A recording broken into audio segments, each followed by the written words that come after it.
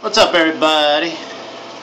I'm doing a double play. Two Guy Harvey scratch offs, $2. Ticket number 86 and 85. Let's do the first one. 19, 7, 5, 15, 12, 11, 20, 17, 3, and 1. Winning number 18 and 16. This is a losing ticket. So we'll get on the next one with the manatee.